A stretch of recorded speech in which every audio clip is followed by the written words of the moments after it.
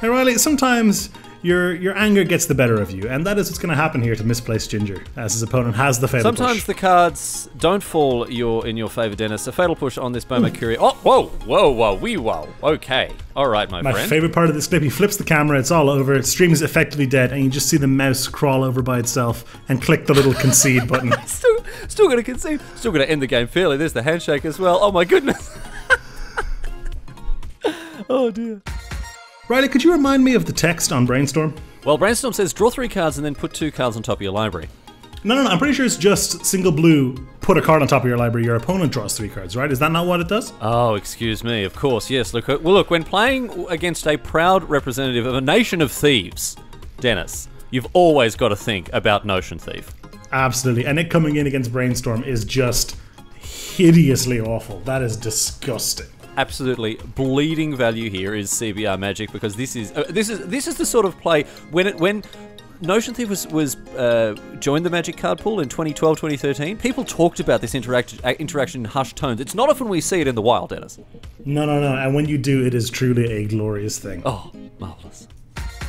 Kenji Egashira here, Numat the Mummy Riley, has got his opponent hard locked out with Teferi. Now, this clip was entitled Magic as Richard Garfield Intended, which, I mean, our lawyers are in discussion about a potential breach of copyright here, Dennis, but this, I would say, definitely falls within that category. Absolutely. That is a phrase we bandy around a lot, but I think it's definitely appropriate here. Kenji has exiled all of his opponent's lands, and along with them, any chance they have of ever coming back in this game. It is just disgusting. As Richard Garfield intended.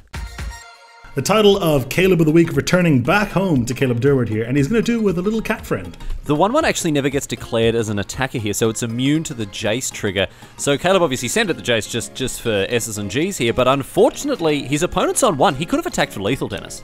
Absolutely. Had he known that interaction, he could have killed his opponent. But- but what's almost as good as killing your opponent? Look at the repunt here, and Caleb can't believe his luck. Listen to the listen to the giggles.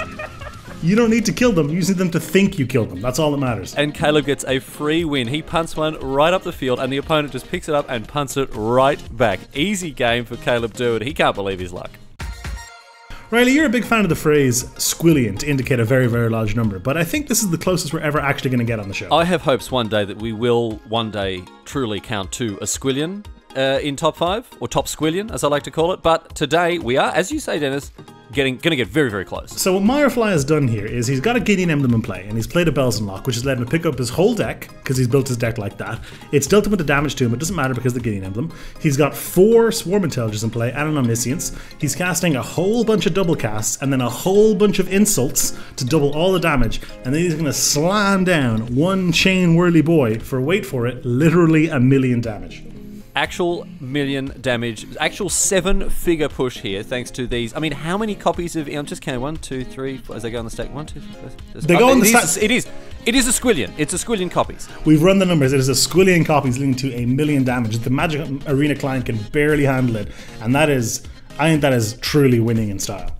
I I actually don't think it's the Magic Arena uh, client that can that can't handle it here, Dennis. It is. I think. I think it's his opponent. I think Firefly's opponent is the one who was just like, how, how is this happening?